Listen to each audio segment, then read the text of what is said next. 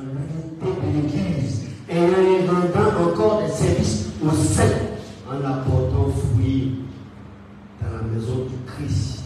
Dieu ne l'oubliera jamais. Il n'oubliera jamais.